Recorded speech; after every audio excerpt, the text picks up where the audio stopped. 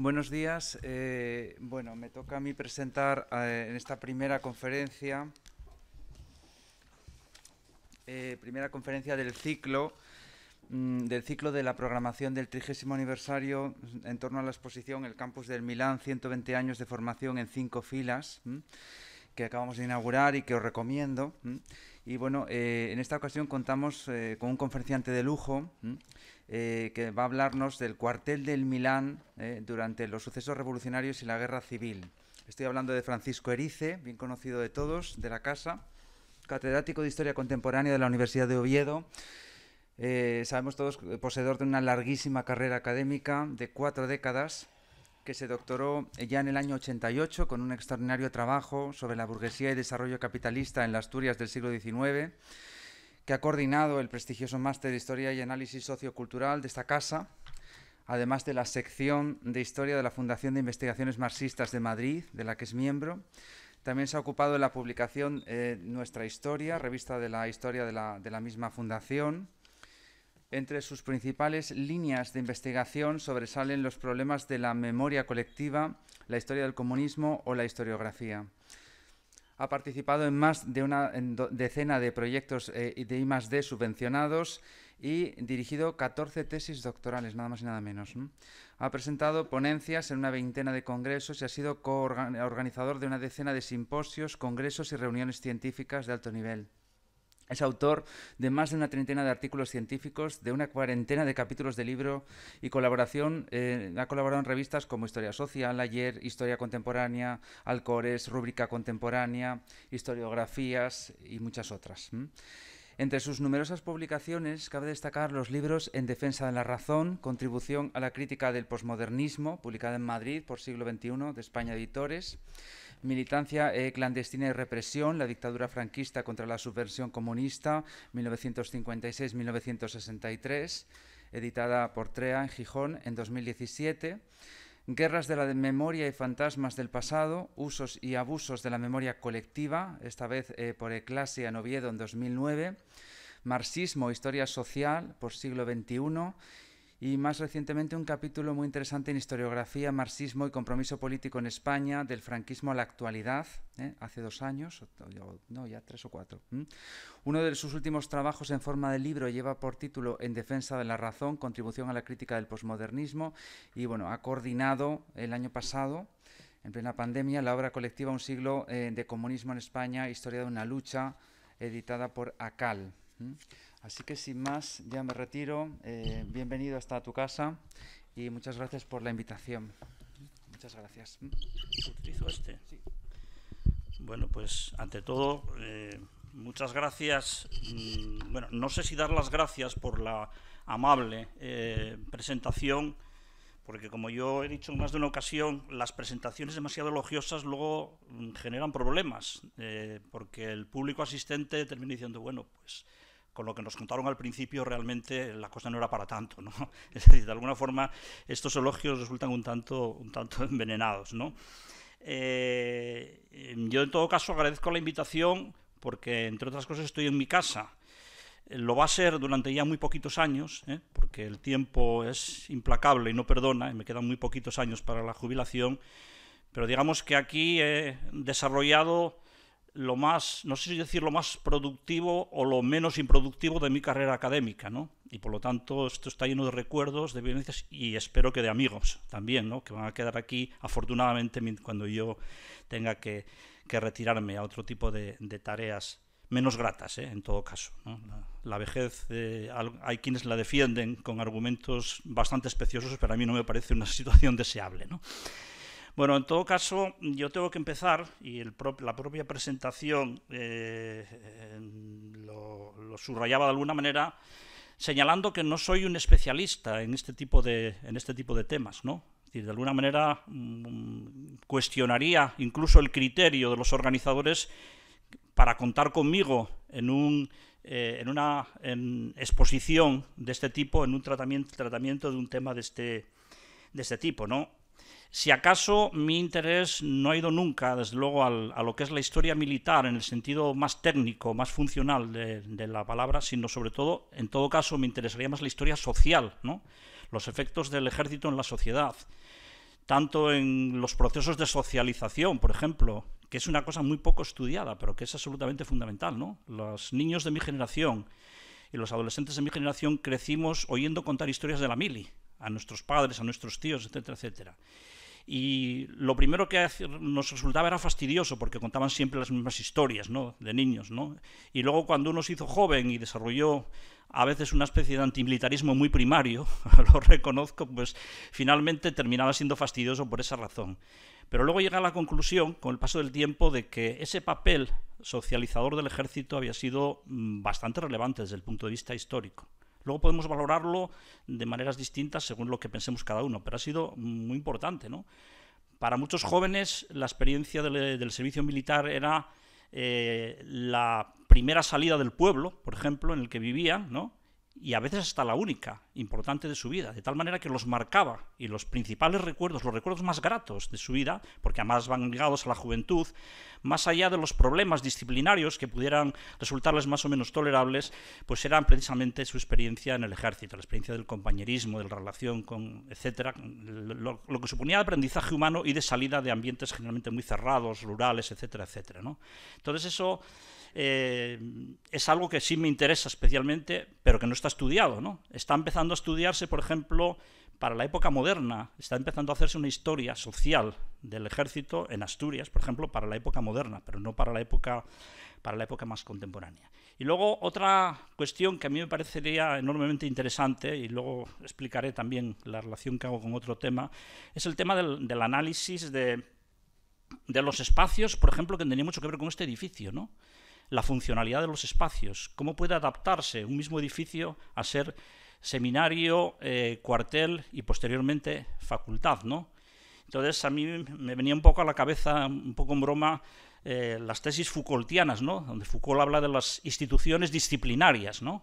Y, yo creo que este cuartel tan lleno de historia ha registrado el paso sucesivo de tres eh, instituciones disciplinarias, ¿no? es decir, la, la, Iglesia, el ejército y el sistema educativo, por así decirlo. Solo faltaría, para seguir a Foucault, ¿no? yo no soy Foucaultiano, simplemente lo cito como una referencia, para seguir a Foucault solo nos faltaría que hubiera habido una fábrica y un psiquiátrico aquí en, en este mismo edificio, ¿no? y por lo tanto se completaría un poco el, el, conjunto de estas instituciones. Pero en todo caso, no estaban en este edificio, pero estaban en las proximidades. De alguna manera implica una cierta... Eh, compatibilidad y coherencia funcional, ¿no? El psiquiátrico, la cadellada, estaba ahí al lado. Luego lo mencionaré a propósito de algunos episodios militares de, este periodo, ¿no? Y eh, la fábrica, aunque solo fuera la fábrica de armas, que une esa doble condición de lo militar y de lo, de lo que es la construcción de espacios, también con sistemas disciplinarios específicos como son las fábricas, como diría el propio Foucault, pues también estaría presente. Bueno, en todo caso, yo quiero señalar que no soy especialista en estos, en estos temas, ni siquiera tuve ocasión de, de desarrollar espíritu castrense, por así decirlo, en, en, en, mi etapa juvenil, cuando todavía, para los jóvenes que no lo saben, cuando todavía existía el servicio militar obligatorio, la mili, ¿no? Porque entre otras cosas, al ser corto de vista, me declararon inútil total para el servicio, ¿no? Entonces, bueno, pues no, ni siquiera tuve esa experiencia, para bien o para mal, que significa el haber eh, desarrollado esta, esta, actividad durante ese periodo de tiempo, que en la época en la que eh, yo estaba en la edad era más o menos un año, un año y, poco, ¿no? ¿no? como mi padre. Mi padre, por ejemplo, hizo tres años de mili todavía, en los años, allá por los años 40. Bueno, la primera consideración que quería hacer es esta, pero también la segunda, y si se me permite extenderme un poco más en las cuestiones previas para luego ya entrar un poco en materia, es que la información mm, que tenemos sobre la época de cuartel de este edificio es bastante sumaria, es muy precaria. Seguramente mm, los archivos militares conservan un montón de información que mmm, supongo que tendrá un valor administrativo o tendría en su momento un valor administrativo, pero yo creo que debería mmm, ser útil para que futuros historiadores o especialistas también en historia del arte, que analicen, o geógrafos que analicen los espacios y demás, puedan utilizarlo, ¿no? Pero no ha sido utilizada hasta ahora.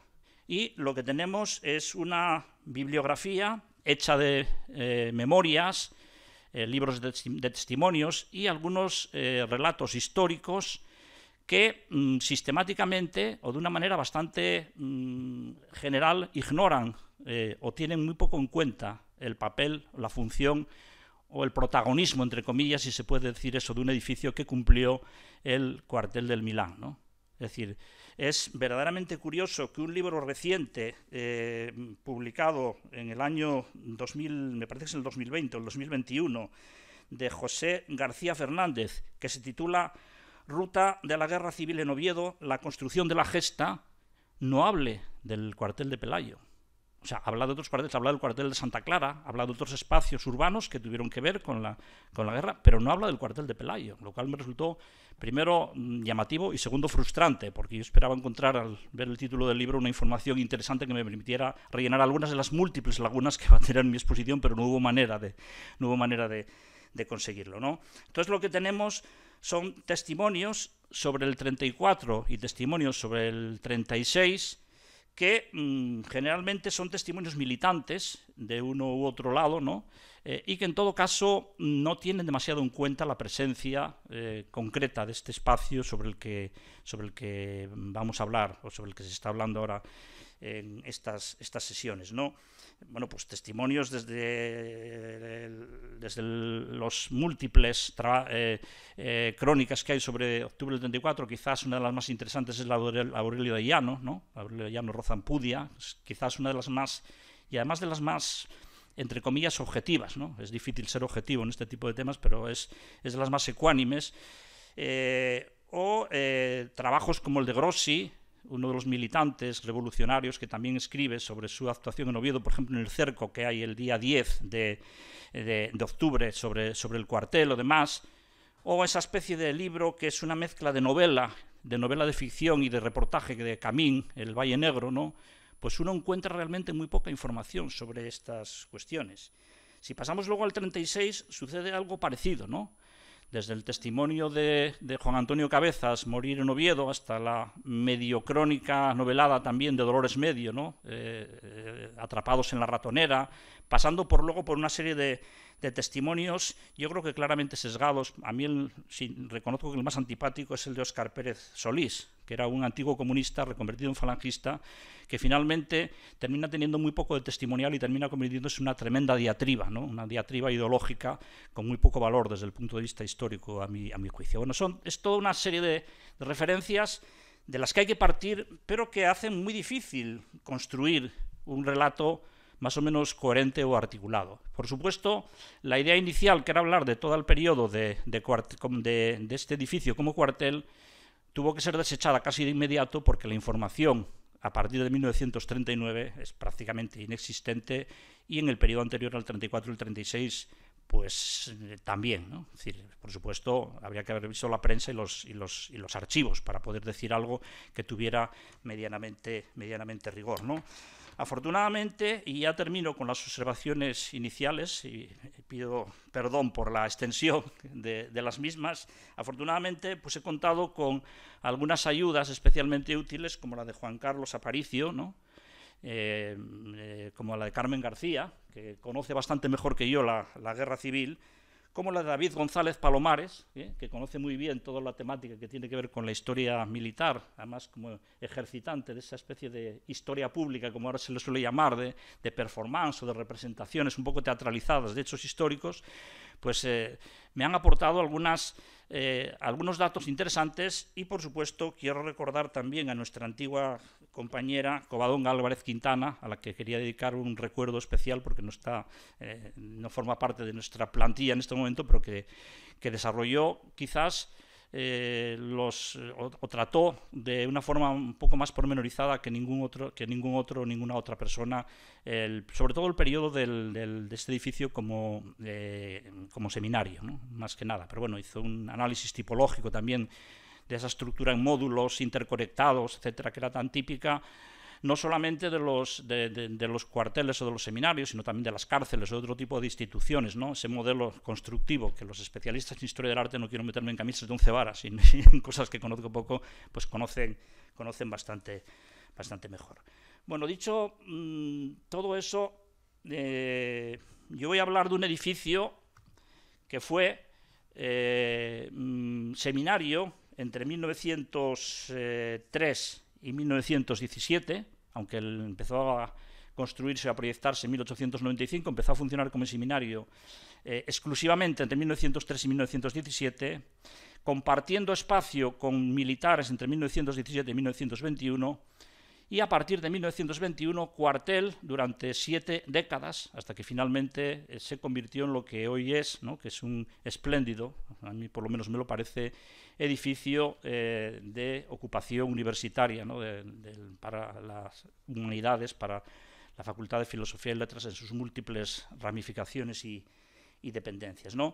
Pero lo voy a hacer como, se, finalmente terminó quedando configurada la, la charla, en un periodo muy breve, pero muy intenso, ¿no? que voy a intentar tratar sobre la base también de esas carencias de las que hablaba antes, voy a intentar tratar a través de una serie de pinceladas, ¿no? de, casi de flashes, ¿no? Mm, no sé si poco sistemáticas, ¿no? entre, entre otras cosas, bueno, pues porque esa falta de información nos deja un montón de lagunas que sería muy útil rellenar y bueno, pues sobre todo si tenemos la suerte de que algún graduado y, y master, masterizado posterior se anime alguna vez, algún doctorando a hacer alguna tesis, por ejemplo, sobre, sobre la historia del cuartel o algo así, pues, evidentemente ahí tendríamos muchas más, muchas más bases y más datos. ¿no? Entonces, los dos, los dos momentos en los que me voy a referir son, lógicamente, 1934, como ya he señalado, y 1936-37. ¿no? Son las dos, dos etapas con semejanzas, pero también con alguna divergencia que tiene que ver con, con lo que es la, la, parte de la historia militar y lo relativo de la historia militar, la relación de la historia militar con este, con este edificio, como, como, luego, como luego señalaré. ¿no? En todo caso, conviene recordar un poco los antecedentes, aunque sea de una manera muy, muy rápida y muy, muy escueta. ¿no?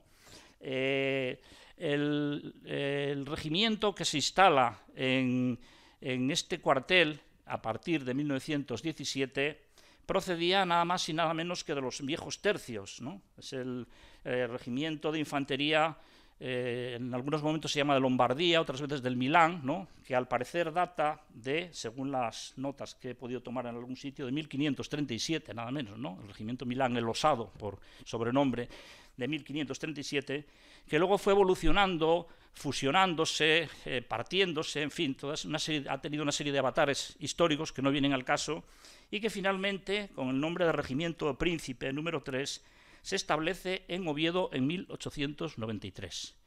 Pero no se establece en este edificio, sino que se establece en el cuartel de Santa Clara, el que posteriormente, cuando, los, cuando hable de los acontecimientos del 36, será el cuartel de las guardias de asalto. ¿no? Es decir, eh, en 1893 se establece en el cuartel de Santa Clara. Y es en 1917 cuando se produce el traslado de este regimiento al edificio en el que actualmente estamos. ¿Por qué 1917?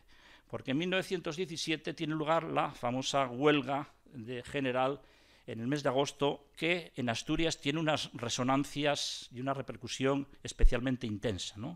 De alguna manera prefigura, aunque no desde luego en cuanto a la intensidad de los, de los combates o de las acciones militares, etcétera, etcétera, pero de alguna manera prefigura la dureza de los acontecimientos de 1934. ¿no? Entonces, en 1917 llegan refuerzos para hacer frente a esa huelga general. En aquellos tiempos el orden público estaba tremendamente militarizado, ¿no? tremendamente militarizado, y eh, se produce el alojamiento, el, el traspaso del de el regimiento de la sede del cuartel de Santa Clara en Milán. Pero lo hace en condición de arriendo, digamos, porque durante cuatro años eh, los soldados y los militares convivirán con los seminaristas seminaristas que estaban en ese momento de vacaciones, pero que cuando vuelven tampoco eran demasiado numerosos, porque se calcula que había unos 150 seminaristas. Claro, las pretensiones del obispo Martínez Vigil, pensando en el aumento constante de las vocaciones, eran tan absolutamente desmesuradas que hacían que un edificio de estas dimensiones, verdaderamente eh, impresionantes, pues eh, fuera ocupado tan solo por 150 seminaristas. Había sitio para y al parecer también condiciones internas del edificio que lo hacían apropiado para el uso, para el uso militar.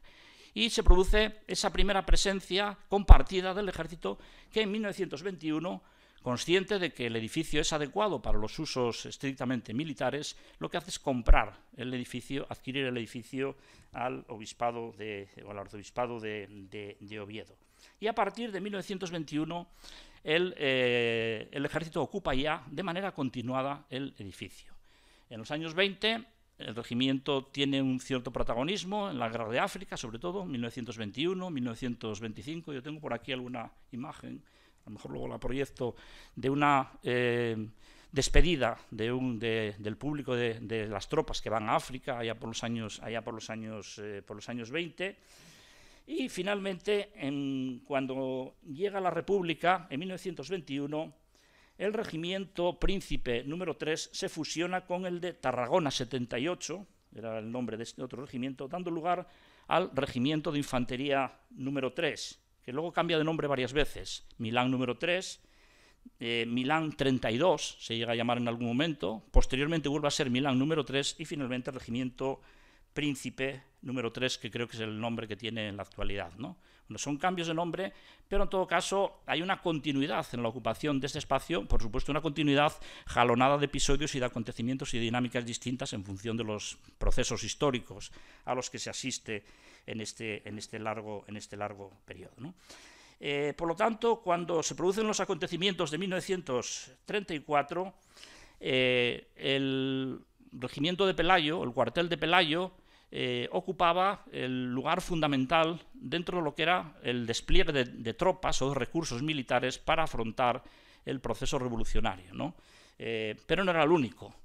Es en, Oviedo había otros lugares donde también había eh, tropas elementos militares, aunque fundamentalmente relacionados con el orden público. Estaba el convento de Santa Clara, que albergaba a los guardias de asalto, estaba también el, cuartel de la Guardia Civil, ¿no? la zona de Pumarín, y finalmente estaba, bueno, no finalmente, porque también había algún pequeño destacamento de carácter sanitario, de transmisiones, etcétera, etcétera, estaba también la caja estaba también el destacamento de Rubín, ¿no? pero prácticamente no tenía efectivos, y los carabineros, que ocupaban, si no estoy mal informado, una sede que eh, hacía esquina entre la calle Magdalena y la calle Marqués de Castañaga.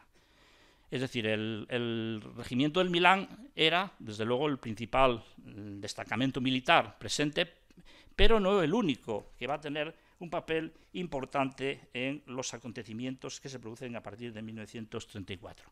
Ya hay que decir, en todo caso, antes de pasar y hablar directamente o a caracterizar de manera rápida lo que sucede en el 34, hay que señalar la importancia que tiene eh, el el, digamos, el conflicto militar, especialmente en Oviedo en el año 34, en el año 36.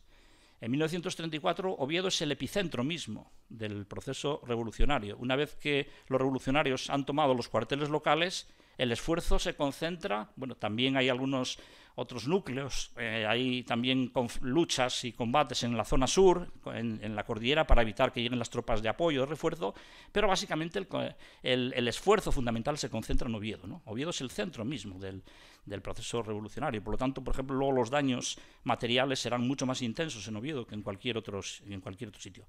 Y en el 36 sucede otra, otra vez lo mismo, quizás no en tan destacada medida, pero Oviedo finalmente después de la rendición del cuartel de Simancas y de Zapadores, primero Zapadores y luego Simancas en Gijón en, agosto, en agosto, unas pocas semanas después del inicio de la guerra, eh, a las tropas republicanas, finalmente eh, termina eh, convirtiéndose en la zona, salvo el extremo occidente, con tropas que van avanzando desde Galicia progresivamente, pero se termina convirtiendo también en el centro del, del combate y en una auténtica obsesión que algunos han interpretado como una especie de revival de la memoria de octubre del 34, ¿no?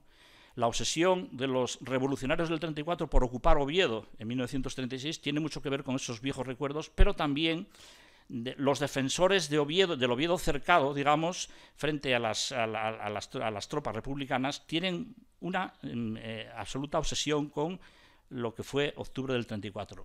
De hecho, Aranda establece un dispositivo militar cuya finalidad esencial es que no se vuelva a repetir lo que sucedió en octubre de, 1900, de 1934. ¿Y qué es lo que sucede en octubre de 1934? Bueno, pues lo que sucede en octubre de 1934, perdón, saltado, vale.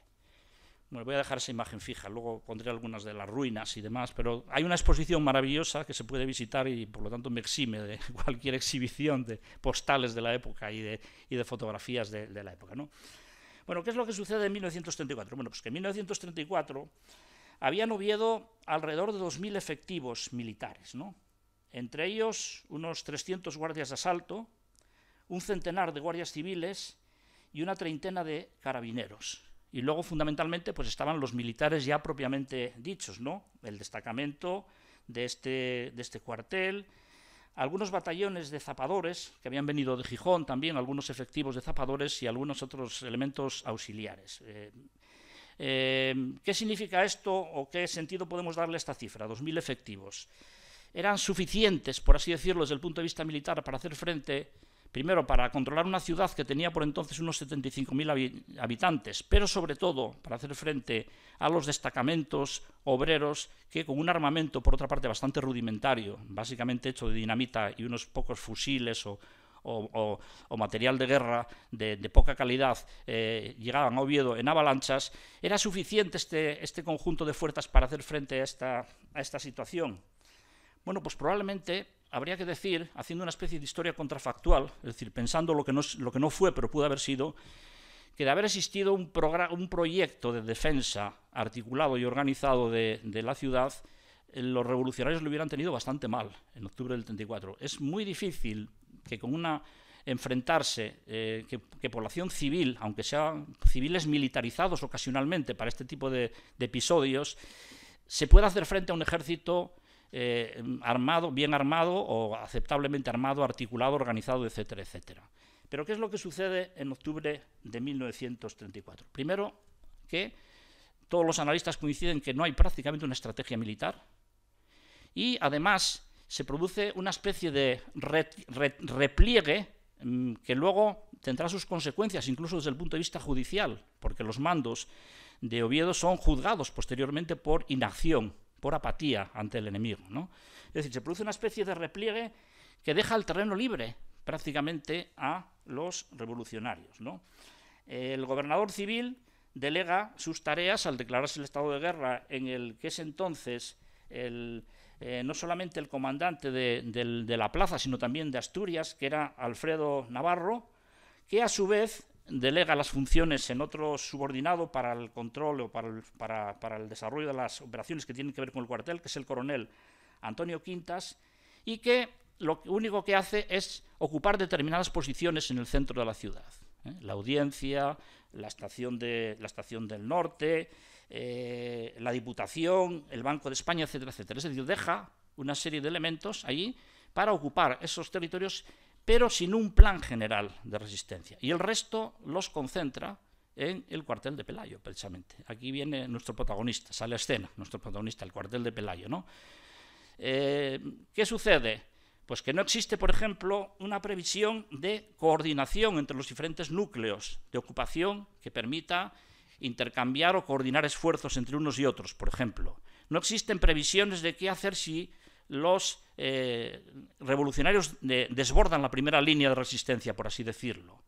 No existe previsión de refuerzos, de, reemplazo, etcétera, etcétera, de los efectivos que vayan cayendo en, el combate, etcétera, etcétera. Es decir, no hay un plan. El resultado de todo eso es que cuando los revolucionarios entran tanto por la zona de la estación del norte como por la zona de San Lázaro, finalmente eh, derrotan con relativa facilidad, bueno, ponen no es, que no es exactamente que los pongan en fuga, sino que los, los, militares que están resistiendo reciben órdenes de retirarse o bien al cuartel de Pelayo o al cuartel de Santa Clara. Los de la zona de San Lázaro al cuartel de Pelayo y los de la zona de la estación del norte fundamentalmente al cuartel de Santa Clara. A partir de ese momento eh, la situación va evolucionando pues como no voy a contar, evidentemente, todos los episodios de la Revolución de Octubre de 1934, ni, entrar en muchos, en muchos detalles, pero lo que va sucediendo es que sin un plan de conjunto de, de resistencia o de defensa, pues los revolucionarios van ocupando diferentes zonas de la ciudad, prácticamente toda la ciudad, y progresivamente los destacamentos que van siendo desalojados de esas posiciones defensivas descoordinadas y desarticuladas van refugiándose precisamente en el cuartel de Pelayo. El día 8 Concretamente, los combates en Oviedo empiezan el día 6, es decir, había habido incluso un día de tiempo para que se hubieran hecho previsiones de defensa, porque la declaración de la huelga general y de la revolución es, del día 5, de la, de la, madrugada del día 5. Pero el día 6, que es cuando llegan eh, a Oviedo, van ocupando progresivamente terreno hasta que el día 8 y 9 caen pues nada menos que el cuartel de la Guardia Civil y la fábrica de armas. La fábrica de armas, además, con muchas armas, pero sin municiones. Eh, ¿Cuál es el problema que se les plantea a los revolucionarios? Que tienen muchas armas, pero no tienen municiones. Entonces, el cuartel de Pelayo se convierte en objetivo fundamental del ataque revolucionario. Y eso sucede un día, que es el día 10. Aquí es donde el protagonismo, aparte de ser un lugar de defensa o de repliegue para evitar eh, la acción de los elementos revolucionarios, el cuartel de Pelayo se termina convirtiendo también en lugar asediado. Los ataques del día 10 son, eh, bastante, son bastante intensos, hay cañoneos sobre el cuartel, diferentes zonas, desde San Esteban de las Cruces, de, otras zonas se dispara contra el, cuartel. Hay también un tren blindado que utiliza la vía del ferrocarril vasco y, entra y sale del túnel, sale del túnel, dispara, vuelve otra vez al túnel, es decir, hay una serie de episodios ahí que se cuentan los cronistas de la época, y sobre todo un intento denodado de ocupar el cuartel asediado por parte de efectivos que tampoco eran excesivamente numerosos, tampoco eran, eh, digamos, eh, no eran grandes multitudes, pero en todo caso efectivos bastante combativos de revolucionarios.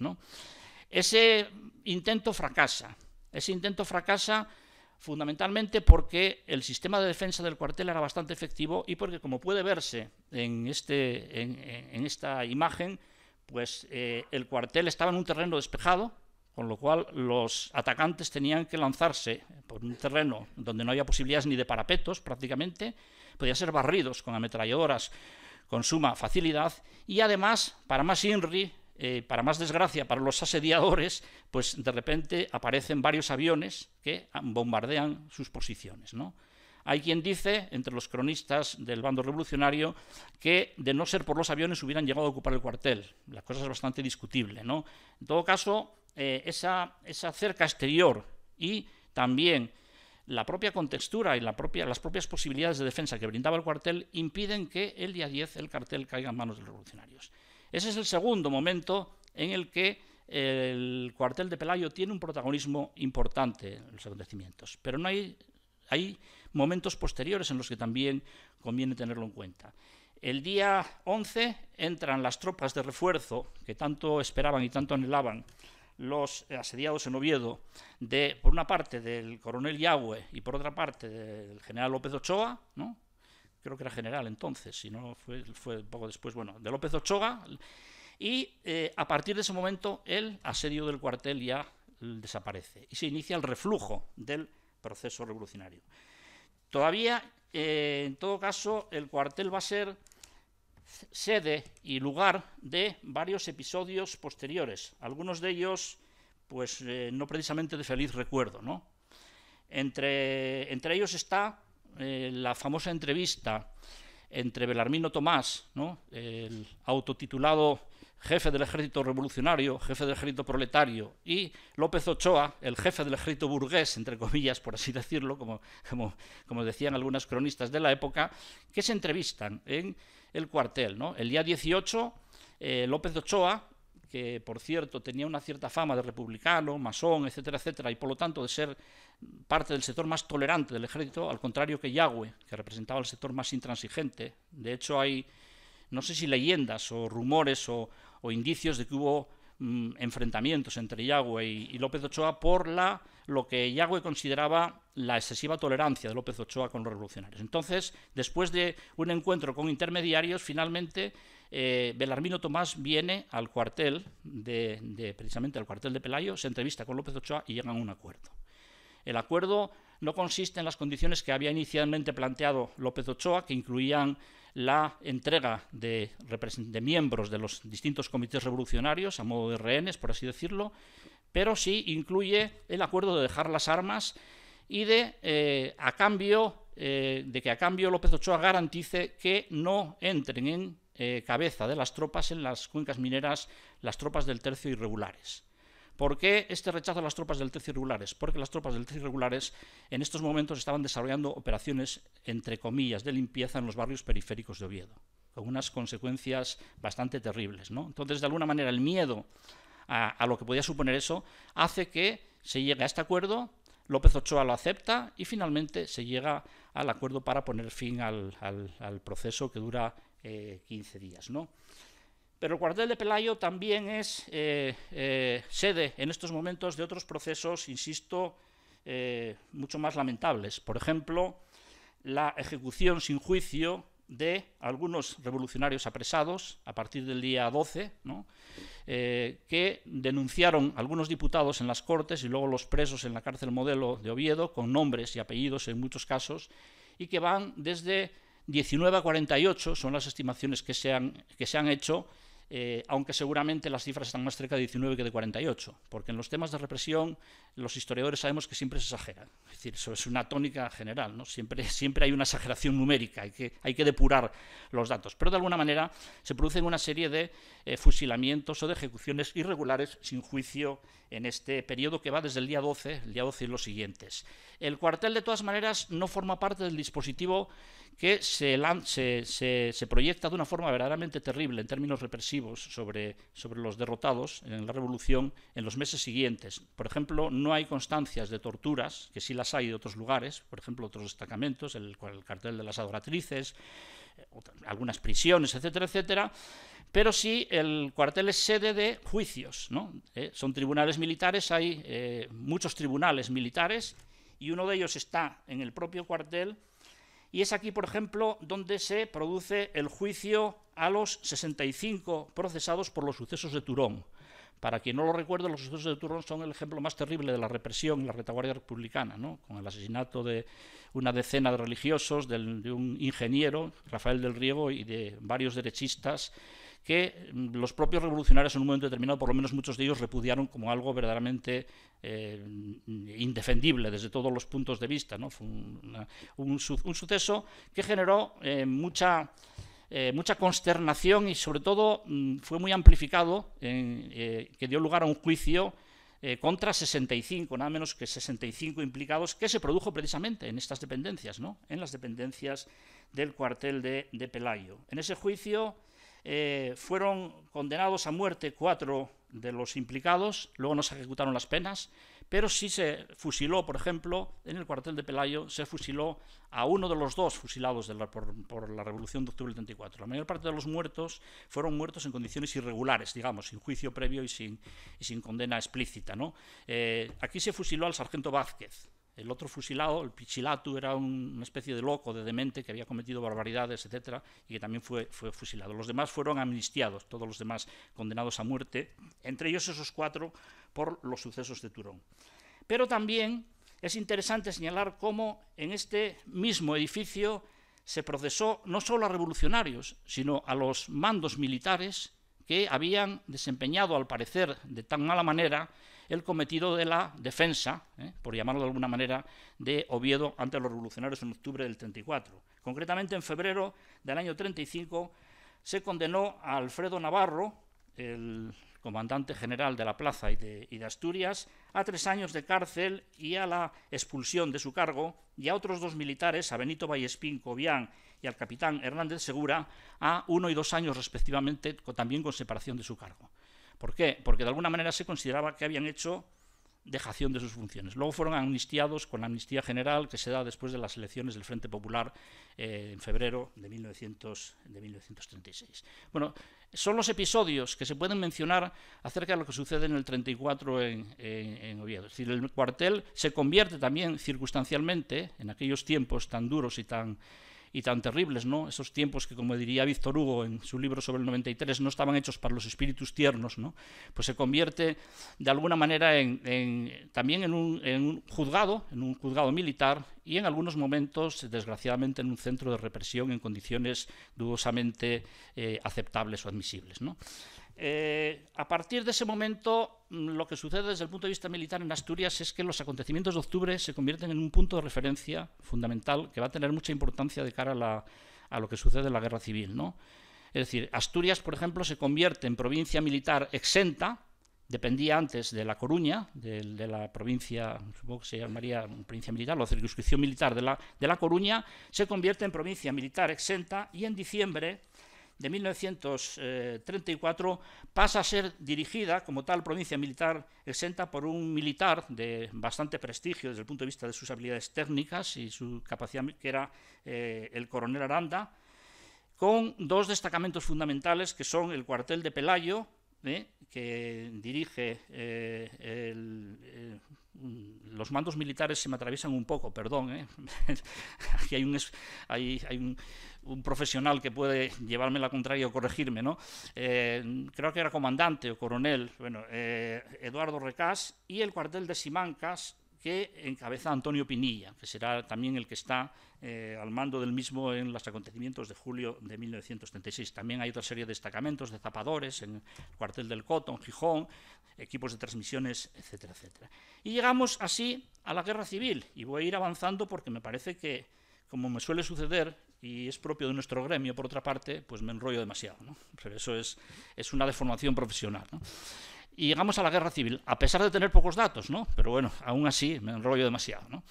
Eh, ¿Qué es lo que sucede en la guerra civil? Bueno, pues en la guerra civil lo que sucede es que la memoria del 34 está bastante presente y la situación va a cambiar radicalmente. El protagonismo del, cuartel ya va a ser un poco menos importante, aunque también mm, hay que citarlo en algunos episodios, ¿no? que al final es el hilo conductor un poco, debería ser un poco el hilo conductor de mi exposición, más que los acontecimientos en sí de, cada momento. ¿no? Lo que sucede es que el, cuartel sí está muy presente en lo que es el desencadenamiento del, conflicto, ¿no? la, sublevación en Oviedo. Eh, el golpe eh, de mano del coronel Aranda eh, y mm, apoyado sobre todo por otro personaje que es el, comandante Caballero, que eh, había sido eh, soldado en el Milán, luego fue jefe de guardias de asalto y en un incidente que hay en la primavera de 1936 es trasladado a Zaragoza por los mandos de aquí porque lo consideran peligroso por los mandos republicanos del Frente Popular y demás, porque lo consideran peligroso, pero vuelve clandestinamente a Oviedo para ponerse a disposición de la sublevación si es que se produce. Bueno, la sublevación en Oviedo ha sido objeto de múltiples mm, controversias eh, porque todos los protagonistas han contado su versión y en esa versión pues como suele suceder en las memorias o en los libros eh, testimoniales, cada uno lo cuenta a su manera y como le resulta más cómodo que haya eh, hubiera sucedido o que haya podido suceder. ¿no? Eh, pero en todo caso mm, hay algunos episodios que están bastante claros. Primero, que Aranda juega de alguna manera con la confianza que en él se tiene por parte de determinados dirigentes políticos nacionales. Él era amigo, al parecer, de Prieto, de Indalecio Prieto, y eso garantizaba a juicio, sobre todo de los socialistas, dentro de lo que era el sector republicano, la fidelidad de Aranda y el hecho de que Aranda no se fuera a sublevar. De hecho, la imagen que proyecta Aranda en estos primeros momentos es de ser fiel a la República. Apoya el envío del tren de los mineros a Madrid para que de alguna manera apoyen a, la, defensa de la República frente a la sublevación militar en otros sitios de España, fundamentalmente en Madrid.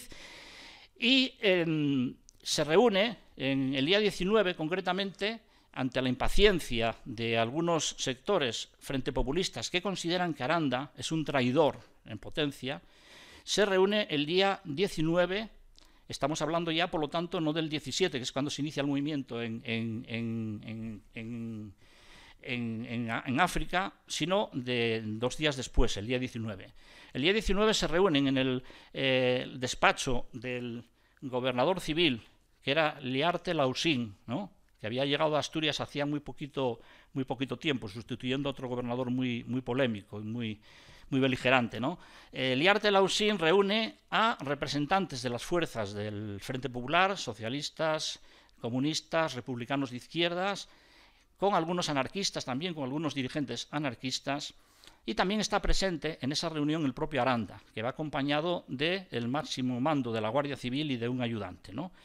Y en ese momento, estando reunidos en el gobierno civil, que estaba situado, por cierto, enfrente del actual Hotel Reconquista, donde está ahora la factura de policía, ese era el edificio del gobierno, del gobierno civil, llega la orden desde Madrid de que se arme, se entreguen armas a los obreros. Es decir, es la orden que finalmente el gobierno de la República impotente para hacer frente a la sublevación que se va extendiendo por diferentes zonas del país, hace con carácter general y llega la orden a, a. Entonces, Aranda dice, perfecto, muy bien, yo soy fiel a la República, estoy de acuerdo, voy a entregar armas a los trabajadores organizados. ¿no? Dice, pero necesito ir yo personalmente porque si no, los mandos no lo van a hacer. Entonces pide permiso para retirarse y se marcha. Y en ese momento lo que hace Aranda es dirigirse a la comandancia militar, que donde tenía también su propia residencia, que estaba en la calle de Toreno, llama a los diferentes jefes de, los, de los, distintos destacamentos de, de las fuerzas de orden público y del ejército y les dice, no voy a cumplir la orden, me voy a rebelar porque es contrario, como dice en, el texto que, que él firma, al honor militar y a los intereses de la patria. ¿Quién está conmigo? Todos le dan su apoyo. Y la única oposición militar que hay en Oviedo a la rebelión está en un sector de los guardias de asalto, donde está un militar republicano que es Ross, que al frente de un grupo de guardias de asalto eh, ocupa momentáneamente el cuartel de Santa Clara, era el jefe del destacamento de los guardias de asalto, ocupa el cuartel de Santa Clara y empieza o va a empezar a repartir armas entre los obreros, grupos de obreros que están llegando pidiendo armas al, cuartel de guardias de asalto. Bueno, la rebelión, por lo tanto, en Oviedo empieza el día 19. A partir de ese momento, Aranda se traslada al cuartel de Pelayo. Es decir, volvemos otra vez con nuestro protagonismo. Es el núcleo desde el que va a dirigir los primeros momentos de la sublevación. De aquí saldrá también el grupo La Compañía, que el día 20 por la mañana va hasta la plaza de la Escandalera y declara el estado de guerra. El bando que declara el estado de guerra. Y de ahí saldrán también los grupos que al mando del comandante, del comandante Caballero y de algunos otros mandos militares van a ocupar primero el cuartel de Santa Clara en un enfrentamiento que se termina eh, produciendo, generando un desenlace sangriento, es decir, son, mueren un montón de obreros, de guardias de asalto, etcétera, etcétera. Luego algunos de los capturados serán posteriormente fusilados después de juicio, etcétera, etcétera. Y también ocupa el gobierno civil. Eh, Aranda llama a Liarte Lausín y le pide que se rinda. Eh, a todo esto ya los dirigentes políticos habían escapado. Cuando se dieron cuenta de la situación, se marcharon cada uno al sitio donde consideró conveniente para continuar la resistencia en otros lugares porque se dieron cuenta de que la confianza que habían tenido, de la que no habían sido partícipes todos los dirigentes del Frente Popular, pero sí algunos de ellos, por lo menos, ¿no? Eh, se había roto ya definitivamente. ¿no? Entonces, Liarte Lausín es conminado a rendirse, él dice que no se rendirá si no es por la violencia, que él es la autoridad legítima, no se rendirá si no es por la violencia, y pregunta a el destacamento de guardias de asalto que hacía de guardia del, gobierno civil si puede contar con su fidelidad. El jefe del destacamento le dice que no van a disparar contra el ejército, que no puede contar con esa fidelidad. Luego les dice que vayan al periódico Avance a ponerse a disposición de las autoridades del Frente Popular, también se niegan.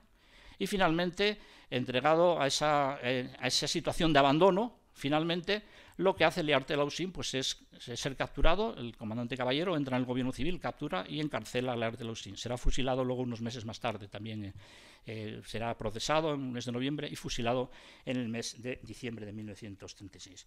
Bueno, hasta aquí el protagonismo que tiene que ver con el cuartel de, Pelayo. ¿Qué es lo que sucede en todo caso, a diferencia del año 34, en el año 36? Y voy a ir avanzando y saltándome algunas consideraciones intermedias que yo creo que, no proceden o no, o, no caben por razones de tiempo. ¿no?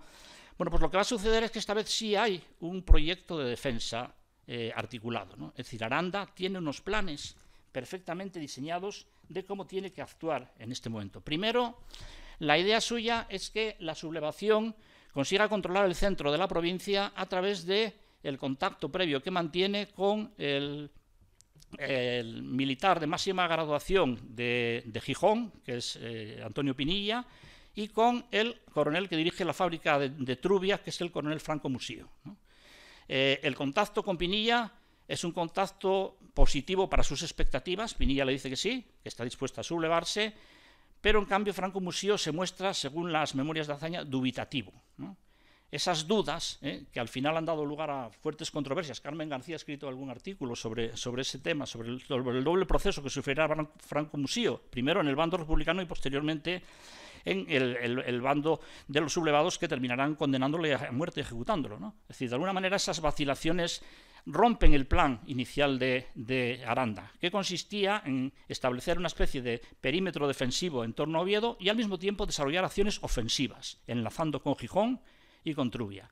Trubia queda en manos republicanas, Gijón eh, en Gijón los, soldados no logran controlar la situación, la respuesta eh, de las milicias ya alertadas por lo que ha sucedido en Oviedo, populares y, el aislamiento de los cuarteles, conduce a una situación de asedio que finalmente desembocará en la trágica eh, destrucción del cuartel de Simancas y la derrota de los sublevados y, la victoria de, los republicanos en, agosto de en agosto de 1936. Entonces, lo que se hace a partir de ese momento es dedicar el conjunto de los efectivos a establecer ese perímetro defensivo. Un perímetro defensivo, bueno, los especialistas en historia militar lo cuentan mejor, Martínez Bande y otros lo, cuentan con bastante eh, lujo de detalles, y algunos cronistas de, la época, un perímetro defensivo que tenía alrededor de unos 17 kilómetros y que se basaba en la ocupación de una serie de, supongo que bastante difícil de defender, muchos huecos, ¿no? porque el número de efectivos que tenía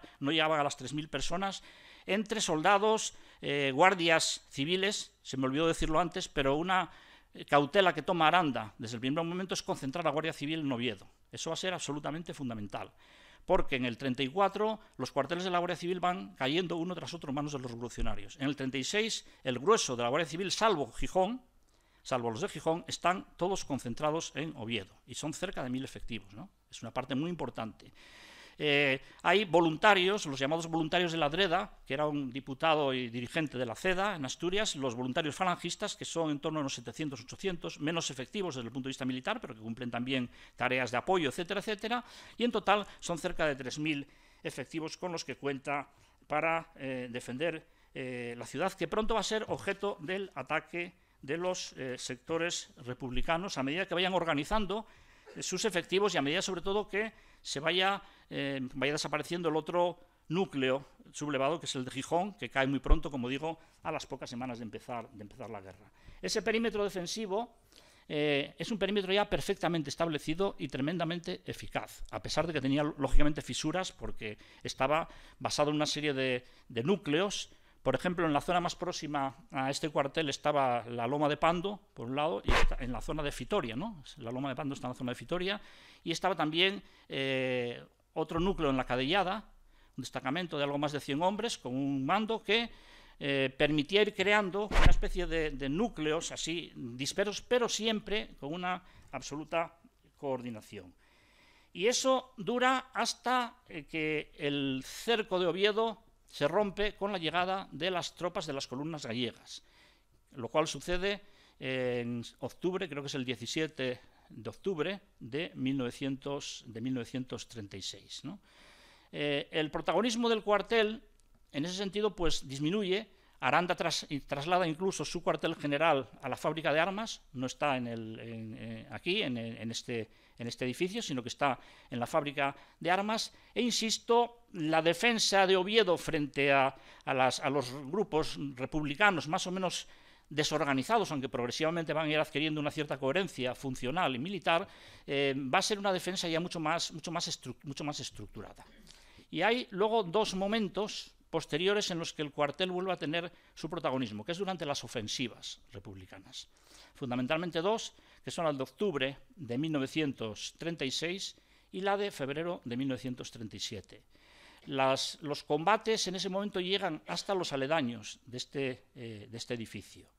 No llega nunca a perder esa posición, eh, Aranda y los, entre comillas, defensores de Oviedo no llegan nunca a perder esa posición, pero en definitiva los combates se extienden hasta las proximidades de este, este edificio. Y, en febrero del 37, que es cuando se produce la mayor ofensiva republicana, eh, eh, sucede algo parecido. La ofensiva de octubre de 1936 acaba con la llegada de las tropas gallegas. A partir de ese momento, Oviedo ya ha abastecido de alimentos, de combustible y también de soldados, de refuerzos, que hacen más difícil la conquista por parte de, las tropas republicanas. Y en febrero de 1937 simplemente la ofensiva se agota. ¿eh? De alguna manera, a pesar de que los republicanos llegan a entrar en algunas zonas de la ciudad, finalmente terminan eh, teniendo que retirarse incapaces de hacer frente a un dispositivo militar que fue tremendamente, tremendamente eficaz.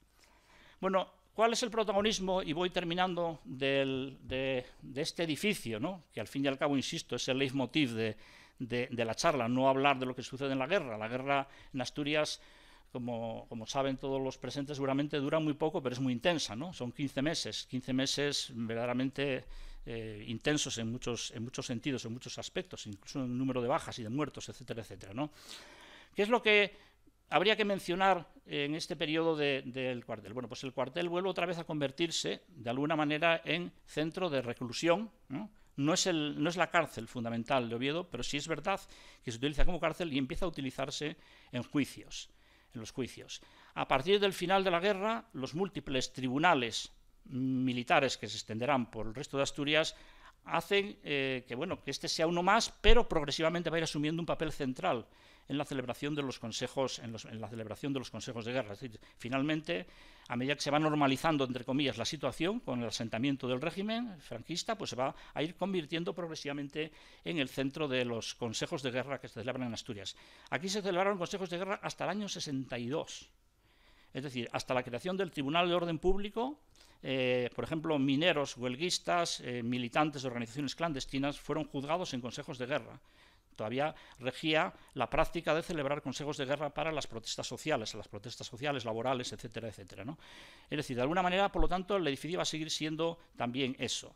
Va a tener una cierta participación también en los eh, procesos, en algunos procesos represivos de, de, la retaguardia. Después, algunos de los presos van a ser trasladados a otros lugares y en algunas ocasiones, pues darán lugar a, a, bueno, pues a episodios mm, también tremendamente lamentables de paseos en la concha de Arteo, etcétera, etcétera. Algunos de los paseos en la concha de Arteo salen precisamente de, aquí y son interceptados. Los, los, los, destacamentos que, vigilan los guardias civiles son interceptados por grupos de falangistas que terminan cogiendo y, ejecutando directamente algunos de los algunos de los de los que iban directamente los que iban dirigidos a los consejos de guerra que se celebraban en el occidente o en tierras o en tierras gallegas.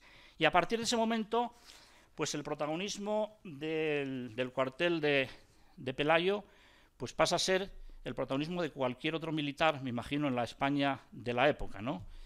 No conocemos ya prácticamente nada, salvo esos episodios o algunas anécdotas que cuentan algunos historiadores, ¿no? Así, espigando, rastreando acerca de los conflictos y de los, de los eh, posteriores de la, de la posguerra, etcétera, por ejemplo, sabemos que del cuartel de Pelayo, según el testimonio recogido por Ramón García Piñeiro, un especialista en la guerrilla en Asturias, se sacaban armas que iban destinadas a algunos grupos guerrilleros, porque había algunos infiltrados de la guerrilla dentro del propio cuartel, simpatizantes de la guerrilla. Bueno, es una cuestión anecdótica, ¿no?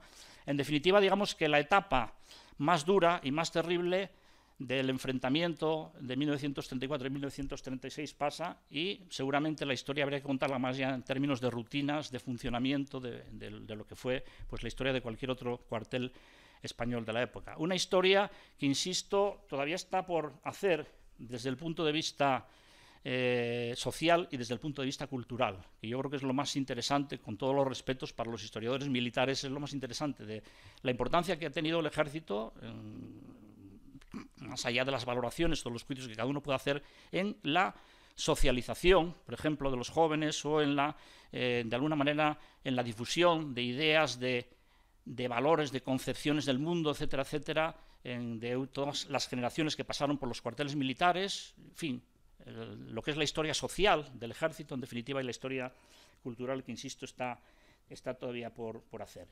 Y bueno, y así llegamos ya a 1987. ¿Y qué voy a decir desde, 1900, desde 1987? ¿no? Desde 1987 tenemos batallas entre nosotros, pero son batallas afortunadamente, afortunadamente incruentas, ¿no?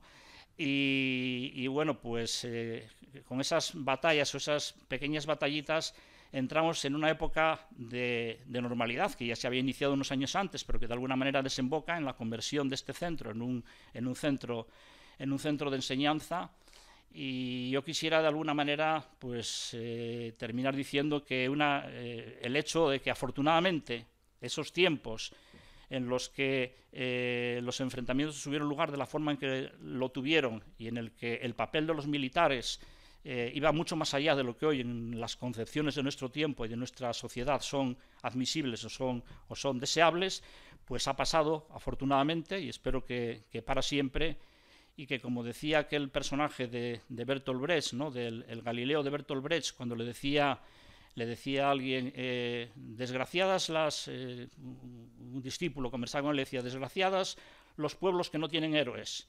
Y le decía el Galileo de Bertolt Brecht, yo creo que muy sabiamente, desgraciados los pueblos que necesitan héroes. Quizás lo que necesitamos es trabajar y colaborar en hacer un país y un futuro mejor para todos y evitar los enfrentamientos del pasado. Y es un poco lo que quería contar y perdón por haberme extendido demasiado.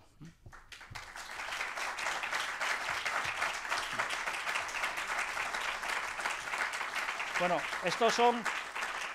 Esto es como queda. Este es el estado el que queda después del 34, el cuartel. Y esto creo que es del 36, aunque no lo tengo datado, pero eh, los que hicisteis la exposición a lo mejor lo sabéis mejor, el resultado un poco de los combates del 36. Bueno, esto es, por cierto, esta es una imagen de la despedida del batallón que va a África, ¿no? la que me pasó eh, colega aquí, ¿no? David. ¿no? Y este es el cuartel de Santa Clara. Este es el, edificio de, la, de Hacienda. En la actualidad no, que fue cuartel militar en 1893 y posteriormente cuartel de los guardias de asalto, que es un cuerpo de orden público que crea la República y que por cierto ha tenido su continuación lo que fue la Policía Armada en el régimen posterior, que surge precisamente del cuerpo de, de asalto. ¿no? Bueno, pues nada, muchas gracias. Estoy a su disposición por si quieren hacer alguna críticas, observaciones, objeciones, aportaciones, más que preguntas, porque ya digo que tampoco soy especialista en estos temas, pero bueno, en la medida de lo posible, si hay algo que ya más pueda añadir y que conozca, pues, pues también estoy disponible para eso. Pues muchas gracias, Paco, por esta magnífica conferencia que ha puesto en cuestión lo que nos decías al principio, que no conocías o sabías del tema. No, no justamente todo lo contrario, de verdad. Eh, ha sido un placer que este pequeño ciclo de conferencias en torno al Milán, a esta exposición, a estos 120 años de formación de filas, lo hayas inaugurado tú. Darte las gracias, por placer claramente. Y nada más, bueno, si alguno de los presentes quiere hacer alguna pregunta, eh, no le pido a Carlos, por favor, que modere las intervenciones que pueda haber. Perdón por la pantalla esta, porque es verdad que al tener la pantalla delante parece que estoy poniendo aquí una barrera, ¿no? Que no se me ve ni la cara. Bueno, eh, también quería agradecer a, Paco, eh, ya digo, su magnífica intervención. Con respecto a lo de las, ahora doy paso, con respecto a lo de las fotografías, todavía hay mucho trabajo que hacer con las imágenes, la mayor parte de ellas están sin datar. Y las fuentes, bueno, hay un trabajo complicado para alguien que lo quiera abordar en un futuro, ¿no? Hace falta una historia completa y ese enfoque social. Yo creo que, yo creo que la, la imagen general es de los años 20, es una postal de los años 20, por, el, por el aspecto, con la cerca, esa por fuera y tal, es de los años 20, pero no está, no está datada, no, sé. Bueno, eh, ¿alguien quería hacer alguna pregunta? Eh, Miguel Ángel de Blas, ¿no?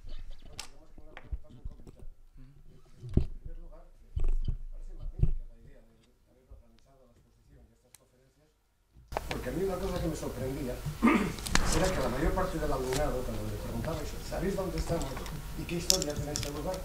Y me miraba como si yo dijera tonterías, dado que yo me dedico, como sabéis todos, a una historia muy remota. ¿no? Era necesario que, efectivamente, en una facultad de historia, precisamente se supiera en qué edificio estamos y qué, qué, hay detrás, ¿no? ¿Qué fue lo que el tiempo dejó por ahí todavía? Las señales de los disparos están todavía en esos muros de, de arenisca, los impactos. En la esquina esta extrema de la derecha se ven magnífica. Bueno, eso lo comentar. Otra cosa era la posibilidad, si está, en el caso de que no esté prevista, de hacer comprender a los estudiantes cuál era la topografía de este lugar. Porque claro, cuando hace un momento eh, Erice nos decías el, el, tren armado o el tren blindado que sale y entraba al túnel, claro, me imagino que la mayor parte de los presentes de, de, de qué está hablando este señor. Claro, sin saber que ahora mismo donde está eso que llaman el Vasco, una de estas melonadas de la ciudad, llamar el Vasco a una zona que tiene toponimia propia, ¿no? Tomando un nombre en préstamo de un ferrocarril que no existe, pero que era Vasco Asturiano, dicho de paso.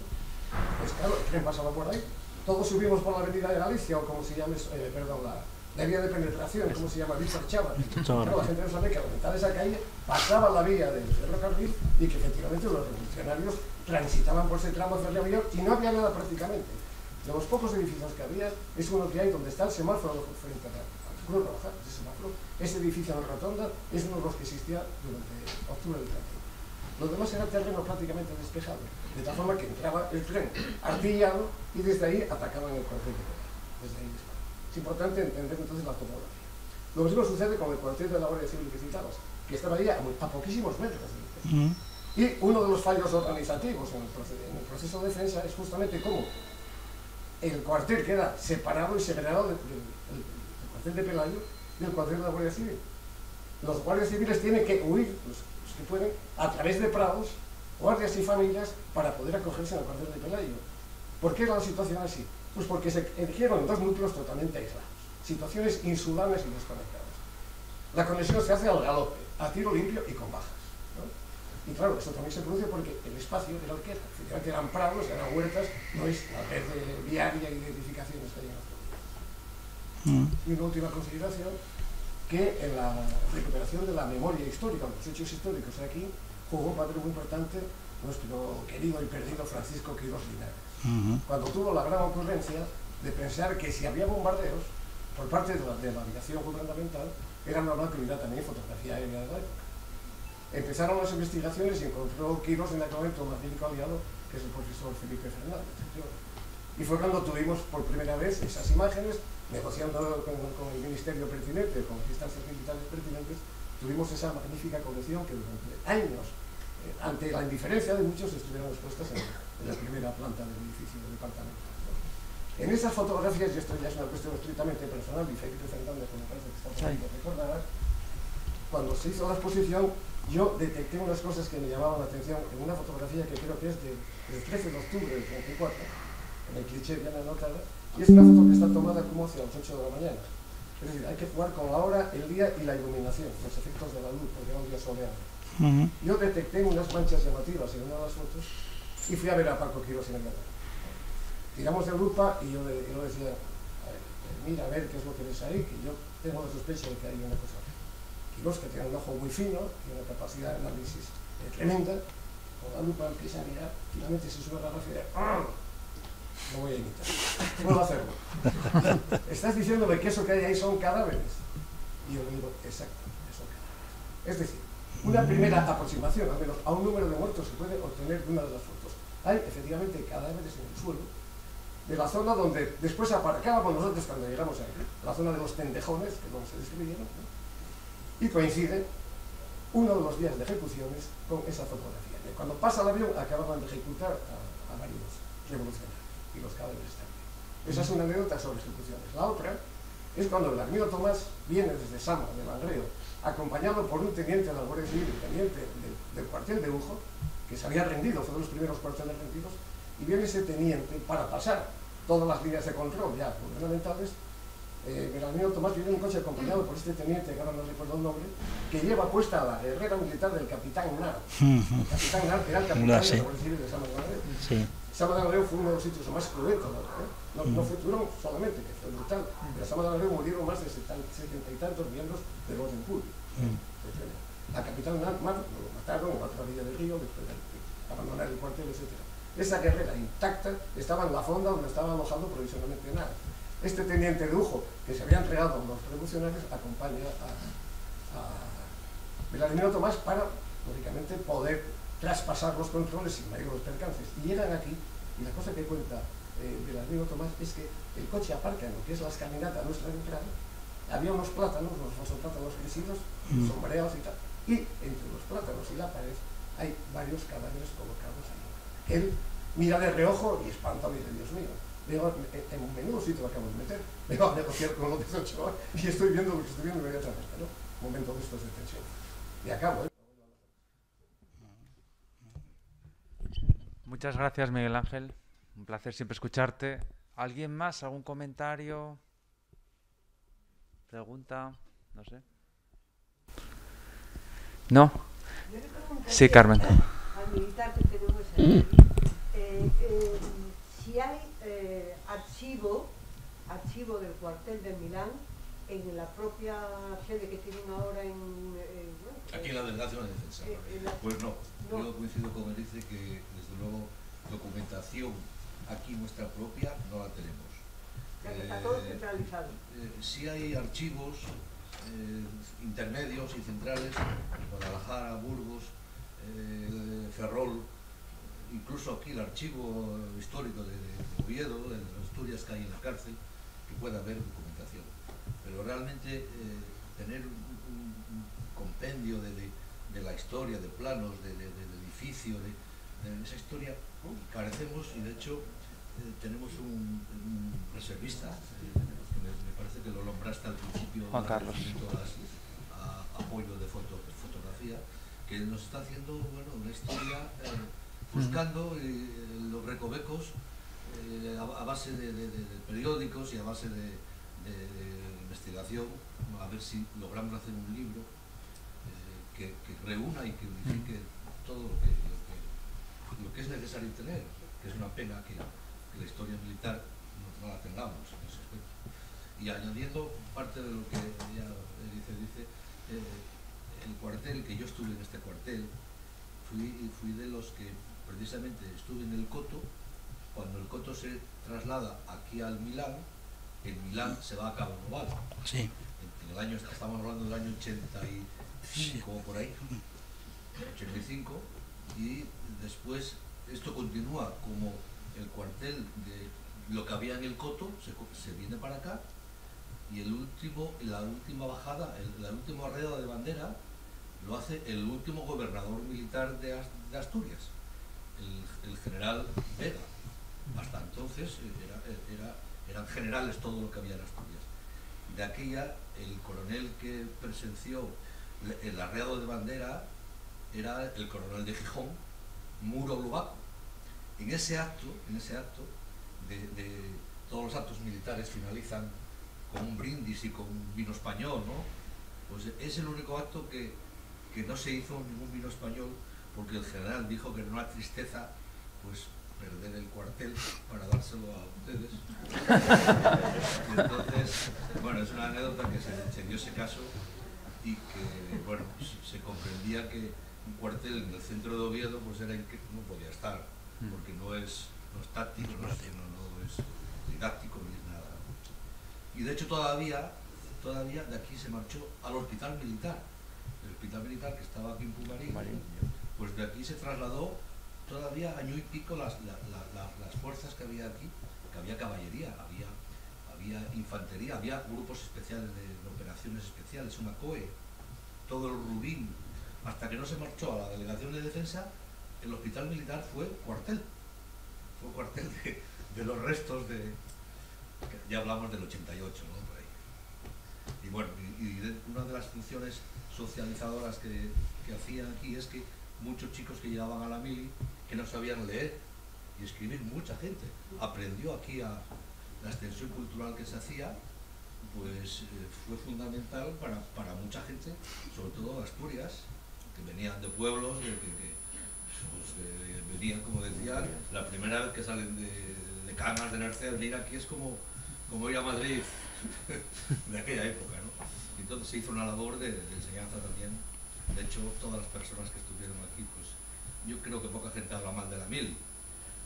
Se dicen comentarios, pero bueno, al- en el fondo se acuerdan de las, de las anécdotas y de las cosas buenas. Pero bueno, lo de la bibliografía que hay que tener, eso es cierto que, carecemos, no sé por qué.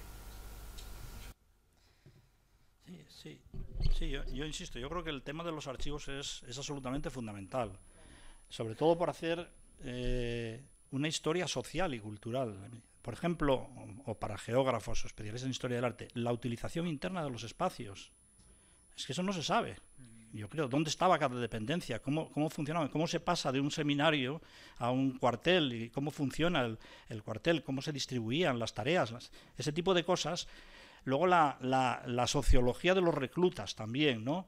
Las listas de los reclutas, etcétera, etcétera, y también de la oficialidad, etcétera, etcétera. Yo creo que ese tipo de temas son los que interesan mm, a muchos historiadores sociales desde el punto de vista de la realidad del ejército, no las cuestiones más operativas, que es, lógico que a los, a los expertos, a los militares profesionales les interesen más las cuestiones tácticas, cómo se organiza la defensa o el ataque, lo que sea, pero ese tipo de cuestiones que tienen que ver con la relación entre el ejército y la sociedad, con todas sus aristas y sus contradicciones. Es verdad que hay gente que habla mal del ejército y gente que habla bien, hay de todo. ¿eh? No, todo el mundo habla bien de la mili. Por ejemplo, en mi generación éramos absolutamente reacios a todo el tema eh, militar, sobre todo, sobre todo la mili obligatoria y demás.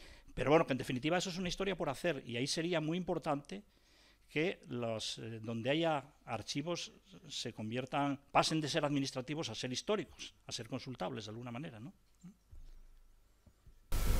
Carmen es profesora en el área de Historia Contemporánea de esta casa y este militar que tenemos aquí, como tú decías, es el delegado de defensa del Principado, ah, que le agradezco mucho su presencia aquí en esta conferencia.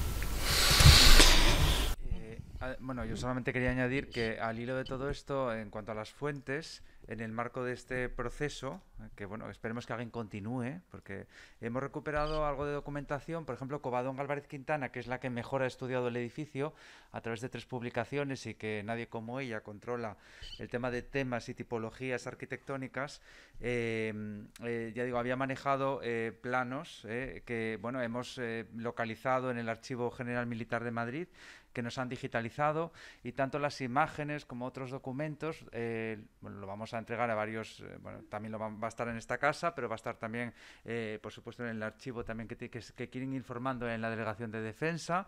Además está muy bien que, que, la información ya sabemos que esté en varios sitios para que alguien pues siga. ¿no? de hecho, en el cartel que vamos a publicar eh, para la próxima intervención, que va a ser el martes y que va a ser de David González Palomares eh, y en colaboración con Frente Benalón, esa asociación a la que pertenece de recreación histórica y que se va a titular el próximo martes 17 a, esta misma hora en el Salón de, Actos de la Biblioteca de Humanidades, el Milán, Historia de Regimiento y Facultad eh, a través de la recreación histórica.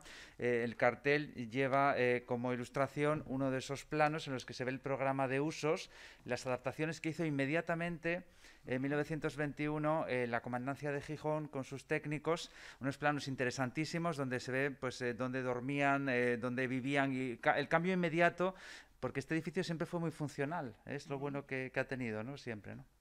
Así que, si no hay más preguntas, os emplazamos a esa siguiente conferencia recreación a cargo de David y, de sus colaboradores de frente del, del Nalón. Muchas gracias.